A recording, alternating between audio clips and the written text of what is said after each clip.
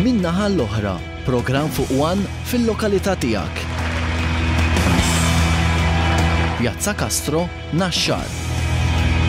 It-Tlieta, 29 ta' April, fis-sitta u nofs ta' flaxija, Malta, Enerġija Pożittiva.